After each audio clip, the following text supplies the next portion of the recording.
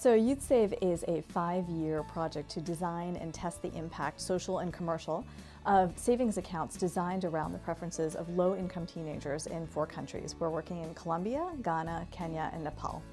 We had a meeting in Washington, D.C. here recently where we brought all of our global project stakeholders together, including our bank partners, and we're able to show them a successful example of a bank bringing its services into a school through Capital One's program here in Prince George's County outside Washington.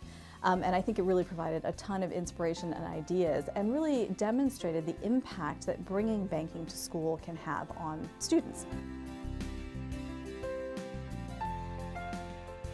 I've been learning a lot about financial literacy, so all of the things that I learned, I make sure that I pass the message on so that I'm not the only one benefiting from that knowledge that I learned.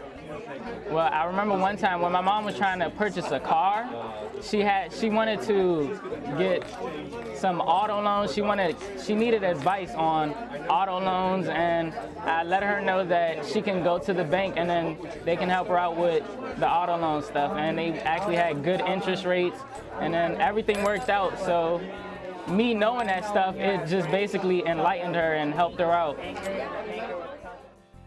I immigrated here when I was four years old, almost about to be five, from Addis Ababa, Ethiopia, in East Africa, and coming from there, you know, feeling the struggles of coming to a new country and not being able to express myself and telling people how I feel, to now being in a position where I'm talking to new people every single day and educating folks and, you know, telling people about all of these great things and that I've learned about financial literacy.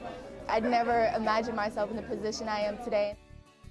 I had a chance to speak to the ninth grade class, tell them about being responsible. You know, you're starting your high school year. It is important for you to start off strong, you know. And I thought I never thought I would be able to do that, you know, speaking in front of crowds, being interviewed. Never thought I would be able to have the opportunity to do that.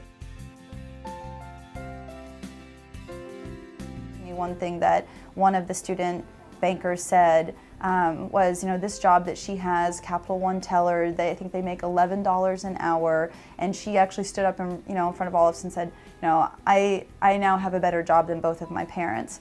And I think that you know it, that kind of puts into perspective the vulnerability of the communities that we're talking about that are being invested in. And this is the same sort of situation that we see oftentimes in developing countries as well. Um, that it's the parents that didn't have the same access to education, don't that are are you know now still excluded economically and financially, and they're putting a lot of their investment, a lot of their um, kind of eggs proverbially into the basket of their children and the futures that they have.